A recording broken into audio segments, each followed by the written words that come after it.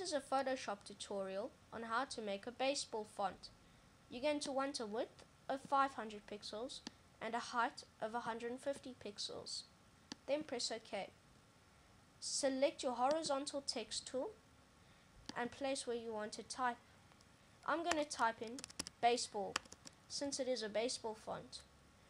Click on the tick icon to confirm your text.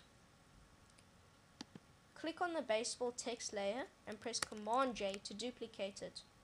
On the top layer, double click, go to stroke, change the color to white,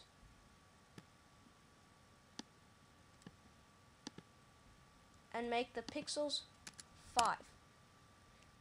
Then press OK. On the second baseball layer, double click go to stroke, make it 10 pixels, and make the color blue.